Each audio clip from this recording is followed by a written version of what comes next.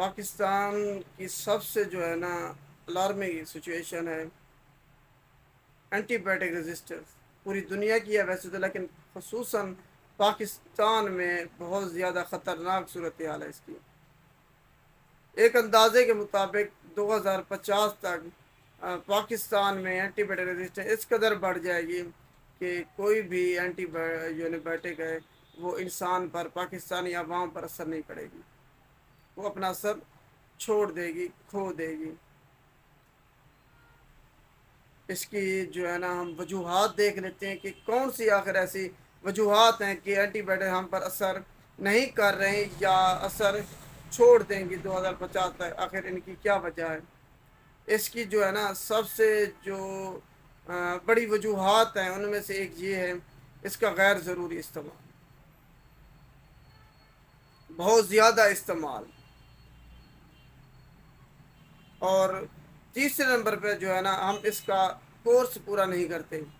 जो इसका दौरानिया एंटीपेड इस्तेमाल करने का कोर्स जो है ना, वो हम पूरा नहीं करते, जिसकी वजह से एंटीबायोटिक रेजिस्टेंट इंसान में बहुत बढ़ रही है।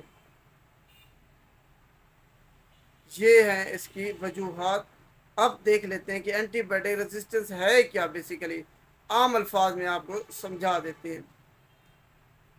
अगर हम जब भी कोई एंटीबायोटिक इस्तेमाल करते हैं, शुरू शुरू में तो वो जो अगर बैक्टीरियल इन्फेक्शन हुआ है, कोई माइक्रोब्स वगैरह हैं तो वो जो एंटीबायोटिक्स है ना सिप्रोफ्लाक्सिन हो गई लिवोफ्लाक्सिन हो गई, एरेथ्रोमाइसिन हो गई, क्लेथ्रो, क्लेरेथ्रोमाइसिन मॉक्सीसिन पेंसिल, ये मुख्तलिफ़ इसकी हज़ारों की तादाद में हैं एंटीबायोटिक्स जब भी हम फ़र्स्ट टाइम इस्तेमाल करते हैं तो अगर माइक्रोव जो है ना उनको ये किल करती हैं या फिर उनकी अफजाइश जो है ना, ग्रोथ उनको रोक देती है।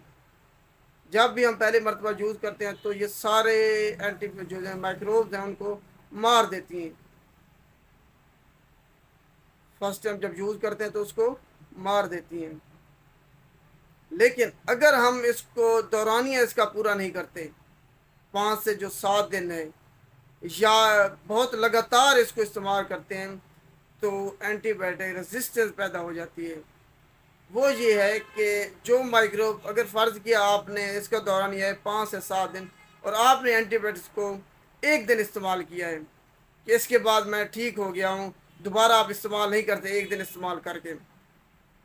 तो ये होगा कि अगर सौ फ़ीसद जो है ना माइक्रोब्स हैं, और उनमें से अगर आपने एक दिन इस्तेमाल किया तो फ़र्ज़ करें कि पचास परसेंट जो है ना वो मर गए हैं।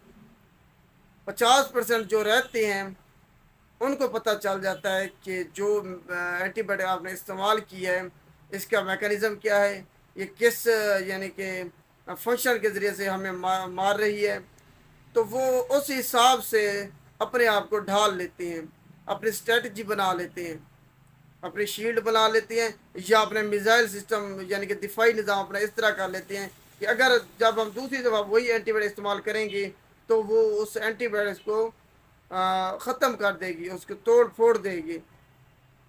वो इतना अपनी स्ट्रेटजी बना रहे हैं। वो यानी कि एक जंग है ना, हमारी और माइक्रोब्स की एक जंग चल रही है शुरू से ही।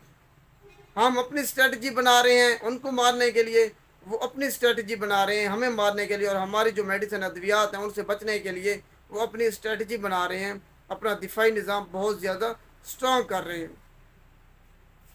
तो उम्मीद है आपको इस बात की समझ आ गई होगी। तो आपको उम्मीद है समझ आ गई होगी कि एंटीबायोटिक रेजिस्टेंट किस तरह से पैदा होती है। ये सारा मैकेनिज़्म था उसका, किस तरह से वो पैदा होती है। अब देखते हैं इसका, आप इससे कैसे बच सकती हैं। इससे बचाओ आपने कैसे करना है, एहतियात कैसे करनी है। आपने जनाब इसका कोर्स पूरा करना है, जो पाँच से सात दिन इसका दौरानिया है वो पूरा करना है। चाहे आप ठीक हो जाएँ या चाहे आप ठीक ना हो। ये बात जहन में रख लें कि आपने इसका जो कोर्स है, वो पूरा करना है हर हाल में। और गैर ज़रूरी जो एंटीबायोटिक्स है, वो आपने इस्तेमाल नहीं करनी। बहुत ज़्यादा इस्तेमाल नहीं करनी। ये दो बातें, अगर आप इनको समझ लें तो आप इससे बच सकते हैं। अब हकूमत पाकिस्तान से हमारी अपील ये है और आवाम से भी कि इसका जो पैकिंग है ना एंटीबायोटिक्स की उसके हिसाब से ही इसे फ़रोख्त किया जाना चाहिए। हम फार्मासिस्ट कम्युनिटी ये समझते हैं कि अगर इस हिसाब से इनको फ़रोख्त करेंगे पेशेंट को देंगे, मरीज़ों को तो इससे बहुत मदद मिलेगी। एंटीबायोटिक रेजिस्टेंस को कंट्रोल करने में हम इससे बहुत ज़्यादा आगे निकल जाएँगे। जैसे अगर दस टैबलेट की पैकिंग है तो उसी हिसाब से पूरी डब्बी की, यानी कि डब्बी ही सेल होनी चाहिए। एक दो टैबलेट गोलियाँ खुली हम दे देते हैं, ऐसे कोई भी आता है, वो हमें नहीं देनी चाहिए। इस पर वो एक अपना लाहेमल बनाएँ, ताकि पूरे पाकिस्तान में ये लागू करें, वरना 2050 को ज़्यादा दूर नहीं है। पाकिस्तानी अवाम की ज़िंदगी का बहुत बड़ा मसला है ये एंटीबायोटिक रजिस्टर तो इसको समझें और यही एक तरीका इस काबू पाने का कि पूरी डब्बी की डब्बी ही सेल होनी चाहिए और मरीज़ों को आगाही देनी चाहिए। इस हवाले से कि वो एंटीबायोटिक्स का गैर ज़रूरी इस्तेमाल मत करें और अगर कभी कर भी लें तो इसका जो दौरानिया है, कोर्स है, वो पूरा करें, चाहे वो ठीक हो या ना हो। उम्मीद है आपको आज का जो टॉपिक है एंटीबायोटिक रेजिस्टेंस वो समझ आ गया होगा। आपने इसको अच्छी तरह से जहन में रख लेना है। इस तरह से आप जो है ना, इन इकदाम करने से आप एंटीबायोटिक रेजिस्टेंस से काफ़ी हद तक बच सकते हैं।